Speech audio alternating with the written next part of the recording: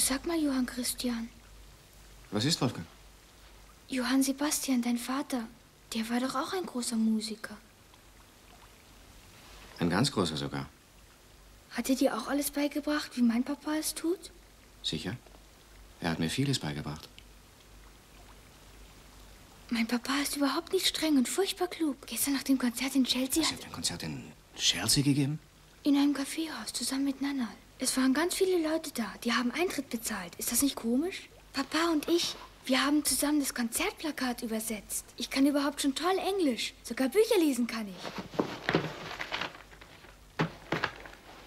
Edward Gibbon. Story of the Decline and Fall of the Roman Empire. Die Geschichte vom... Äh, hm? ist doch zu schwer. Ich will lieber Papa fragen. Am liebsten mag ich Zahlen und rechnen. Unterwegs gibt mir Papa immer Aufgaben. Und in Frankreich habe ich ganz schnell Französisch gelernt. Und Geschichte und... Und die Musik, ha? Das war am schönsten.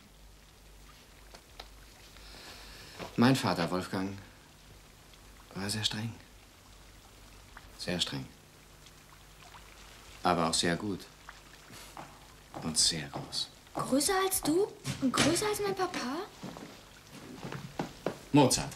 Guten Tag, Herr Bach. Wolfgang, spiel nebenan ein bisschen. Ich habe mich an Bach zu reden. Ich rufe dich an, es dauert nicht lange.